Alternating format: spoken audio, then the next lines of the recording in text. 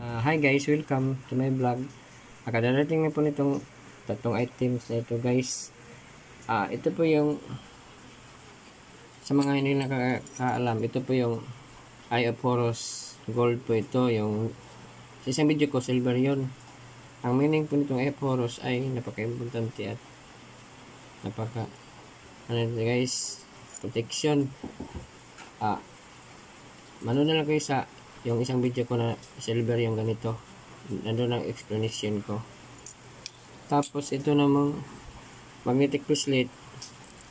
Nandun din sa isang video ko yung explanation itong meaning. Mas marami ito maliit.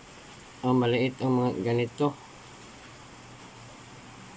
Red infrared ay at magnetic bracelet negative ion. Nandun yung mga explanation doon sa isang video ko guys tingnan nyo na yung isang video ko ko kung may oras kayo.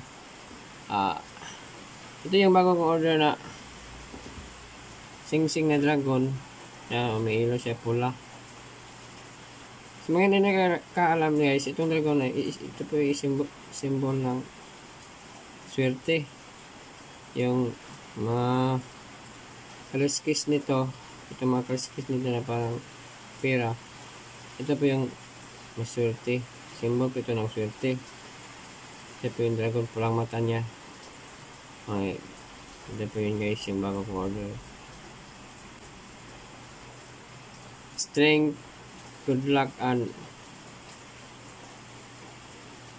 prosperity. Meaning nito.